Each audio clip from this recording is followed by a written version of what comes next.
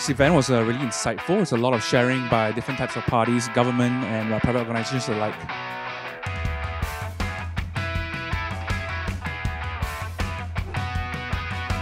It was fantastic. I'm so glad we made the trip uh, to join the Data and AI event today.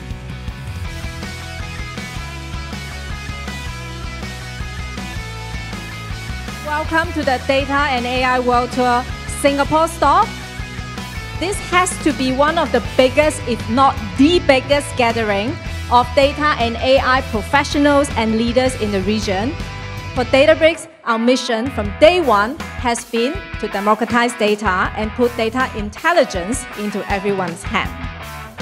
Over the past year, we have seen how the conversation on AI shifting from hype and excitement on AI to a more grounded and sharper focus on how organizations and individuals can benefit from AI, especially Gen AI.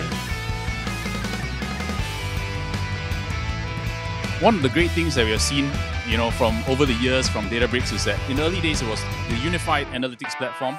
We've seen it come to a fruition, and now today it's the data intelligence platform.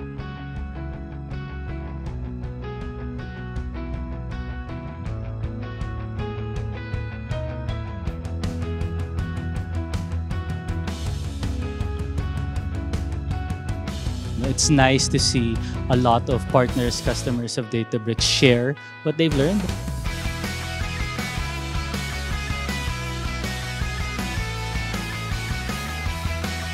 I guess because are also very relevant to what uh, my company requires and like what we are trying to develop.